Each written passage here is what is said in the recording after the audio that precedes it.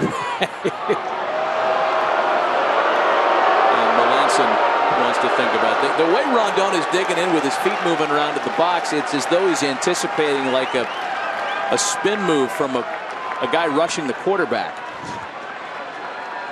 It's just, you know, he doesn't and hasn't been in the box before, so he's ever he's he's ready with his feet.